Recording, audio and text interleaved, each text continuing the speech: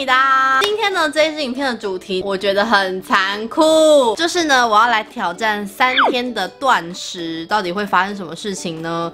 那其实我在网络上面呢，有先看了一些人的断食心得，然后也有看了一些医学报告的一些报道之类的。那三天断食基本上是一个比较正常一点，就是它比较。没有那么大的危险性的，因为一般是说五天的话会比较危险，但三天的话是还好。那我虽然呢这三天我会进行断食，但是同时呢我是会喝水的，然后听说就是喝柠檬水也可以。那今天呢是星期四，所以呢我会一路断食断到礼拜六。对，礼拜六还有活动哦，我觉得真的是太残酷了。那因为我这礼拜没有没有去健身房的关系，所以我就想说，如果我不去健身房健身的话，我断食可能比较不会那么的痛苦。那麋鹿呢，他会拍一支，它是间接性。的断食，然后我是完完全全的断食，所以我觉得我的感觉是比较可怕的。那其实会有断食法呢，是因为它可以让我们身体里头的机制有点排毒的作用。所以呢，我决定让我这三天就是好好的身体排毒一下。现在呢是下午的两点，我从昨天晚上十二点开始没有吃东西，到现在已经十四个小时了。我要撑七十二小时，所以扣掉十四小时，我还剩下五十八小时。好，那我们就断食吧。听说喝柠檬水还有喝。茶也可以要补充一些电解质，我等下会去买海盐，而且听说就是不能吃食用盐，要吃海盐。来看看现在的体重哈，因为我刚从韩国回来，所以呢这个体重应该是蛮壮观的。来吧，噔噔，哇，哎，我刚刚两名就是四十九而已。啊，是因为我现在手拿相机的关系吧？Hello，大家，我进食的第十七个小时，我滑 Instagram，然后看电视，我只要看到任何吃的或别人要去吃东西的话，我觉得心情超级不好。我决定我等下要去喝一杯我很喜欢的美式，不然我觉得我现在心情真的很糟哎。我现在已经到我的理发厅了，然后等下我的。理发师帮我剪头发。我刚点了一杯美式，因为我真的觉得我现在心情很糟，而且我很没有力气。这是刚才我在全联买的盐巴，然后记得一定要吃玫瑰盐哦，把它撒在卫生纸上面，给大家看一下。这画面太香了啦！哎，哦哦，有了有了，哦，食物，我觉得有一种解脱的感觉。就觉得终于有吃到东西了，因为我觉得现在的饿是可以忍受的。你会觉得饥饿，肚子会叫，但是我觉得有很大一部分原因是嘴馋。因为其实要我现在不吃东西也没有关系，但是就是看到东西会想吃。那吃到玫瑰盐虽然是可以补充电解质没有错，但是我觉得有很大一部分是我觉得嘴巴得到一种救赎，得到一种满足的感觉。断食第二十一个小时，刚才呢去买了这个无糖红茶，因为是可以喝无糖的，所以等于我今天几乎都是喝流质的东西。完全没有吃东西，目前的状态就是会让自己专心做一件事情。我觉得这样可能比较不会觉得饥饿或者觉得不舒服的感觉，所以我想要来剪片。真的蛮痛苦的，剪片更想吃东西。但我觉得蛮好的是，我这一次几乎都没有把牙套拿下来。来记录一下我现在的体重，四十八点六，有降哎，整整降了一点三公斤。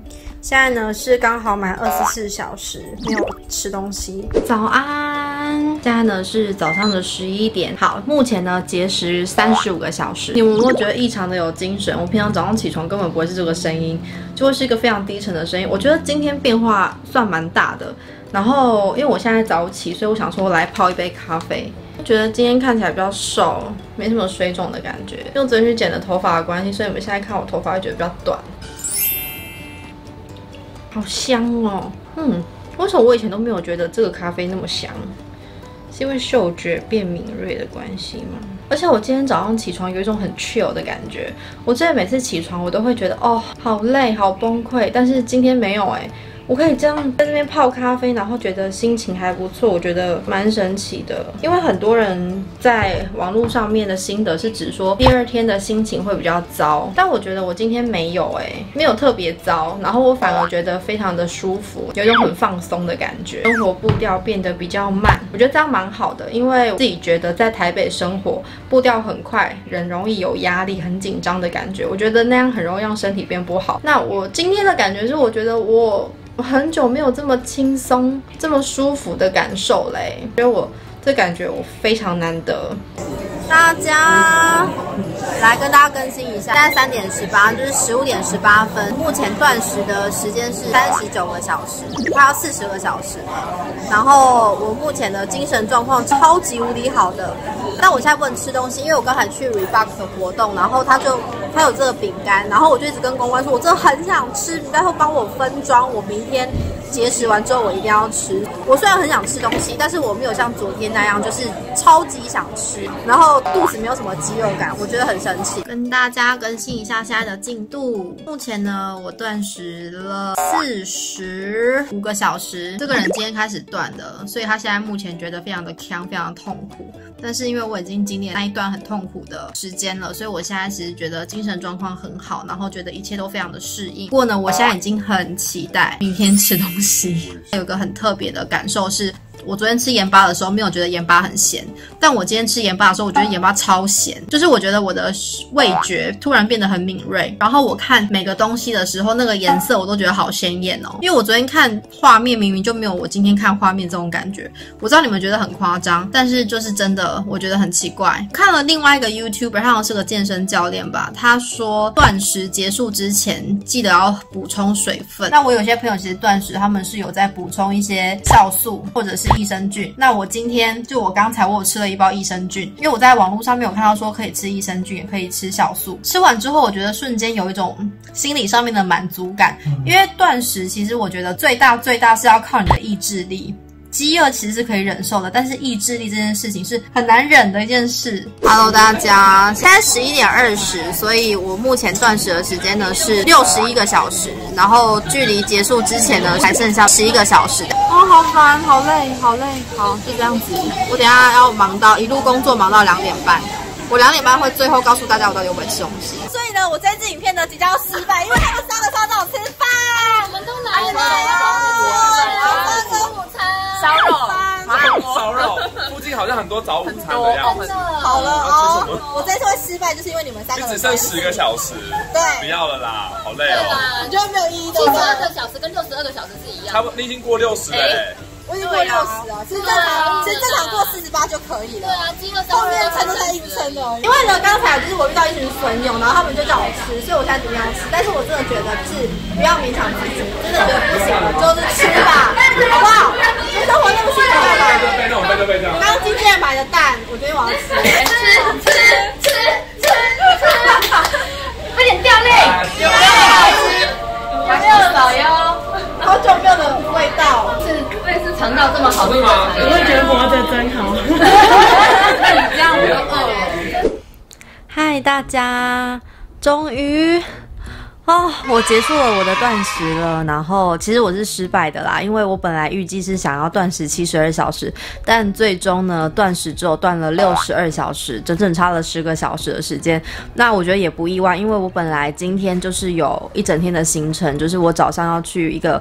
我跟 Mobile 的联名的活动，然后一整天就是要面对粉丝们。我今天的状态我觉得比较不好。我早上搭车的时候其实有点晕车的状态，然后我到 Mobile 的时候，员工在跟我讲话的时候，他们是重复讲了两次，我才听得懂在讲什么。因为我觉得今天一开始脑筋有点空白，所以我当下就觉得不行，就是我不可能用一个脑袋空白的状态去面对粉丝跟面对客户。所以后来我大概撑到了中午十二点吧，然后因为刚好分上午场跟下午场的关系，所以我到。中午的时候真的受不了了，然后我的好朋友居妮、艾琳还有小吴他们来之后，他们就跟我说就吃吧，反正剩十个小时，这不差这十个小时了。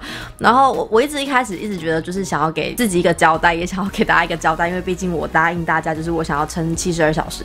但我后来想想，我觉得因为身体是自己的，就是你自己舒不舒服你自己知道。那我觉得就是你念书你可以坚持，你做一件你觉得很有意义的事情可以坚持，但是唯独一件事情就是你要是健康的。你一定要是身体健康的，你做任何事情才有意义。如果你身体不健康，做什么事情都没有意义。所以我后来。真的觉得自己的身体已经在告诉自己说自己快撑不下去了，所以我当下就就觉得好 stop 听，我觉得我要吃东西了，因为我当下暂停之后，我立刻跟我的健身教练说，教练我不行了，我想要吃东西了。教练就跟我说好，那你去吃，他就叫我慢慢吃，所以我先吃了茶叶蛋，然后茶叶蛋吃完之后，我就喝了豆浆，但是我喝豆浆的时候我没有反胃。你节食完之后。吃的东西最好是先吃原形食物会比较好。原形食物就比方像是不是精致的食物，没有经过加工的，比方蛋啊、地瓜啊、蔬菜这一些都是原形食物，先吃这一些会比比较好。身体的治愈能力非常的神奇，我当下立刻觉得有一种五派吃完菠菜的感觉，就是得得得得得，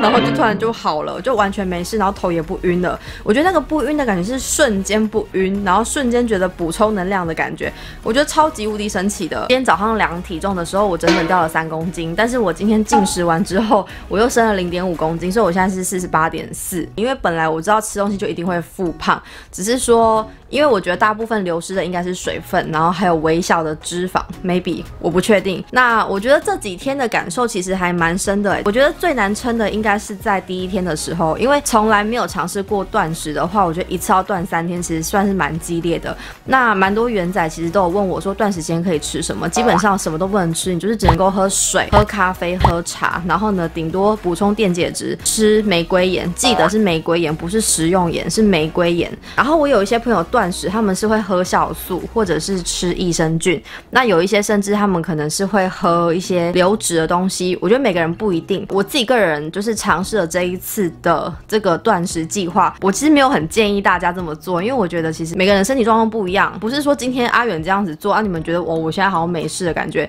就是你们自己做，你们就一定会没事。因为我觉得每个人身体状况真的不一样，还是要让医生评估或营养师评估会会比较好，或者是你自己本身身体状态。是好的，因为我在我的 Instagram 跟大家分享，你今天是未满十八岁、孕妇、营养不良者、有糖尿病的，其实这些都是不适合做断食这个动作的。所以就是我觉得还是要评估看看，因为网络上真的有太多断食的分享了，但是并不是说真的都很适合大家，很适合每个人。然后我到今天的时候，我觉得除了晕眩想吐之外，我觉得做什么事情都没有什么力气，然后会变得就是有点。看到食物就是会睁大眼睛一直在看它，就是非常的渴望吃东西的感觉。今天的饥饿感就是，那是发自身体里头正在求救，就是我真的需要吃东西那种感觉。所以我后来就还是吃了。大家如果真的想要减肥啊什么之类的，可以不用一开始就像我这一次体验的这样这么激烈。我觉得网络上有很多那种什么一六八啊什么，就是那种一天八小时进食，然后之后都不吃东西，或下午三点前吃，然后之后都不吃，这种都有。其实网络上有非常多分享，你们可以自己去看。那这一次的断食计划呢，就是宣告失败，真的是失败了，就还差十个小时。但是还是要提醒大家啦，就是如果你们真的有计划要断食，或者是经过评估之后是 OK 可以断食的，真的就是在断食过程中。真的觉得自己身体不适、不舒服、头晕、想吐等等之类的，就是我觉得真的就可以停，就是不要硬撑。我觉得有关于身体健康、身体安慰的，我觉得不要硬撑会比较好。对，这是我这一次最大的心得，也是想跟你们分享的。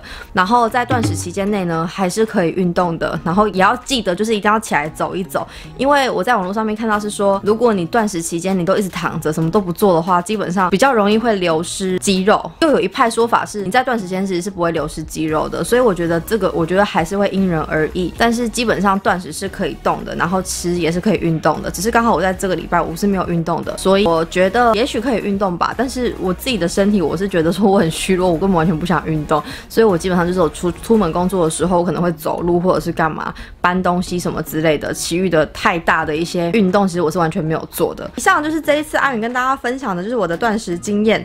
那希望对大家有帮助。那如果你们有任何问题，都欢迎在留言板底下留言跟我说。那喜欢这一支影片的话呢，记得帮这一支影片点个喜欢。那如果还没有订阅我 YouTube 频道的人，记得订阅我的 YouTube 频道，也欢迎 follow 我 Instagram。那就下一支影片见吧，安妞。